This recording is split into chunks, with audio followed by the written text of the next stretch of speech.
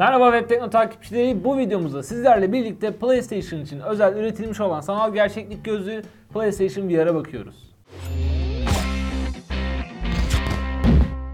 Öncelikle videomuzu Artvay sponsorluğuna çektiğimizi belirtelim. Artvay'in ne olduğunu zaten önceki videolarımızda da size anlatmıştık arkadaşlar. İnternet alışverişlerimizden hiçbir şey yapmadan ekstra para kazanmamızı sağlayan bir sistem. Ancak ben size burada farklı bir şey göstermek istiyorum arkadaşlar. Artvay bize kolaylık olması açısından bir adet eklenti çıkarmış. Artık alışverişlerimizden çok daha kolay para kazanabiliyoruz.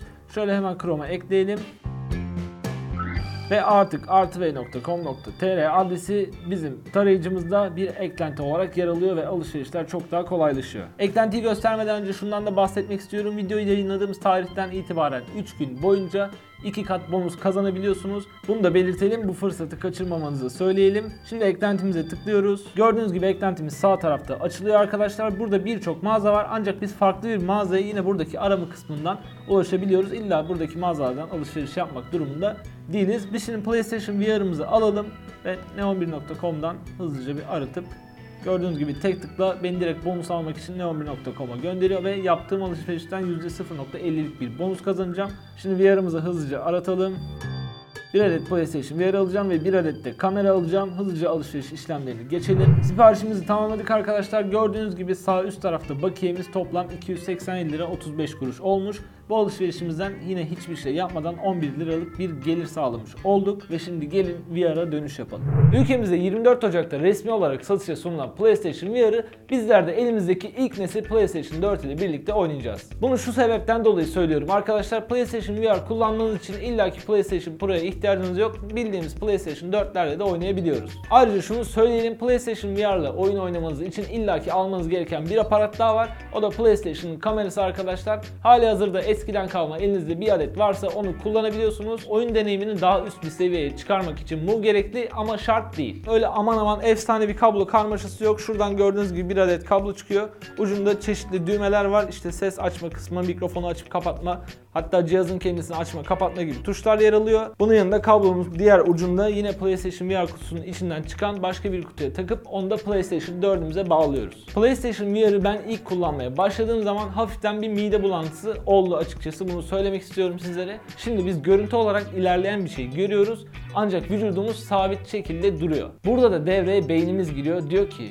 görüntü ilerliyor ancak vücut sabit. Ben burada mideyi uyarayım. Herhangi bir sorun olabilir diye bir uyarı gönderiyor midemize. Bu şekilde de midemiz bulanmış oluyor.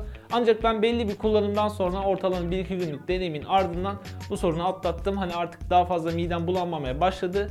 Zaten PlayStation VR'ın kullanım kılavuzunda da şöyle bir uyarı var. 1 saatlik kullanımın sonunda 15 dakika ara vermeniz gerekiyor. PlayStation VR'ın yanında bir adet kutu geliyor arkadaşlar. Bu kutu sayesinde PlayStation 4'ümüzle bağlantıyı kuruyor. Yani VR'ı bu kutuya bağlıyoruz. O kutuyu da PlayStation 4'e bağlıyoruz. Böylece aradaki iletişim sağlanmış oluyor. Ortamın biraz karanlık olması lazım. Öyle aşırı gün ışığı alıyorsa bazen kamerada görmeme problemleri olabiliyor. Şimdi gelin PlayStation VR'ımızı PlayStation 4'ümüze bağlayalım ve ofisteki arkadaşımız Resident Evil 7 ile ne gibi tecrübeler yaşamış. Buna bakalım.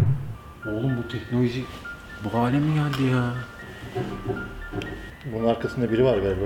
Ya bu nasıl bir karanlık? Tırsıyorum şu an. Yavaşladı. Vallahi yavaşladı. Adam gitmiyor abi. Aşağıdan bir şey çıkarsa çok bir sıçrarım yalnız. Allah kaç kaç kaç kaç. Aa, Allah! Allah! Abi ya bu yani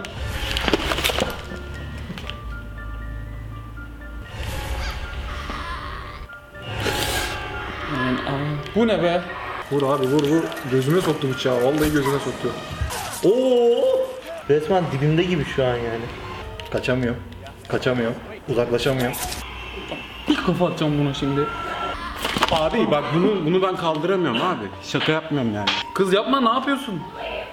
Bu kendini öldürmeye çalışıyor galiba. Böyle olacağı belliydi. Wow. Hala orada mıyım ya? Tek başıma akşam bir karanlıkta falan oynasam bitiremem muhtemelen. Kulaklıkla yüksek sesle oynarsak bitmez bu oyun. VR'la bu oyunu oynayamam ya.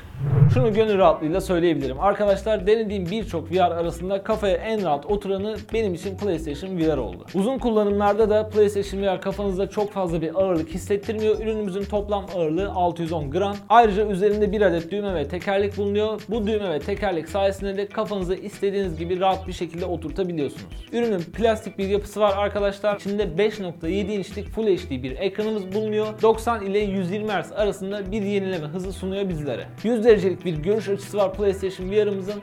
Aynı zamanda 0.18 milisaniyelik bir gecikme süresi var. Tabi biz bu gecikme süresini oyun oynarken hiçbir şekilde hissetmiyoruz. VR'ımızın içinde hız ölçer ve jiroskop yer alıyor. Boyutlarından da bahsedeyim sizlere 187 mm'lik bir genişliğimiz, 185 mm'lik yüksekliğimiz, aynı zamanda 277 mm'lik de bir uzunluğumuz bulunuyor. Artık son sözlerimize gelebiliriz arkadaşlar. Bana göre PlayStation VR oyun deneyimini gerçekten başka boyuta taşıyan bir cihaz. Yani sözün özü hazırda bir PlayStation 4'ünüz varsa ya da almayı planlıyorsanız onun yanında gayet iyi durabilecek bir cihaz PlayStation VR. Ve artık videomuzun sonuna gelebiliriz arkadaşlar. Şurada sizin için bir anket hazırladık. Sizce sanal gerçeklik gözlükleri gelecekte oyun deneyimimizi ne kadar etkileyecek? Klavye, mouse işte ne bileyim oyun kolu falan piyasadan kalkacak mı? VR'lar piyasayı tamamen alacak mı? Bunun cevabını şuradaki ankette arıyoruz arkadaşlar. Videomuzu beğenmeyi unutmayın diyelim. Kafanıza takılan her türlü soruyu aşağıya yorum olarak bırakabilirsiniz.